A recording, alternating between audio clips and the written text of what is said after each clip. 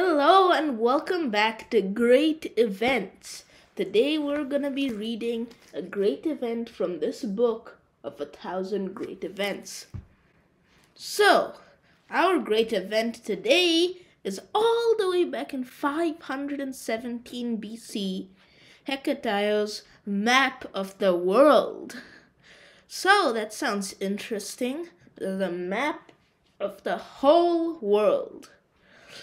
Hecataeus was an early Greek historian who traveled widely and then decided to write a book about his experiences.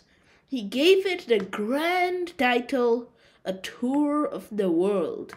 It was fascinating because he illustrated it with a map of the world. This showed the world as a disk divided into two equal parts Europe and Asia. So, that's pretty interesting.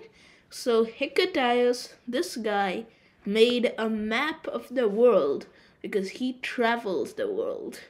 So, that's pretty cool, right? Well, see you next time on Great Events. Bye!